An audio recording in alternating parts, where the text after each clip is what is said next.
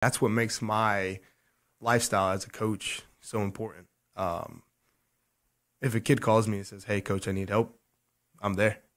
You know, um, if one of my family members does the same thing, I'm there. You know, and uh, I tell my sister all the time, I'm like, I don't think I'm, and this is gonna sound crazy, man, but I don't think I'm supposed to be on this world for a long time. I think that I'm supposed to touch as many people as I can in a short span, and you know, um, whenever it's all said and done, I'm like, hey, I did my job, and it wasn't for me; it was for him, for for the Lord, and for the kids. Well, I'm impressed with the passion you have for your job, man. God Almighty, Yeah, man. I got goosebumps sitting here listening to your story. Um, and yeah, I mean, gosh, the the impact you're having on the community. These kids out here who just don't have anybody and like like you mentioned, locked up or going through something. It's just such a great thing that you're doing.